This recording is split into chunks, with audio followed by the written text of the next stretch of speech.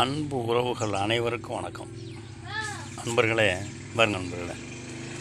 ஏற்கனவே கோழி அடை வச்சு குஞ்சு பொறிச்சது இப்போ ஒரு மாத கணக்காகுது. அது வெளியில் இப்போ தான் வெளியில் இப்போ தான் மண்ணுக்கு திறந்து விட்ருக்கேன் இதுவரை வீட்டுக்குள்ளேயே தான் இருந்துச்சு கூட்டுக்குள்ளேயே தான் இருந்துச்சு.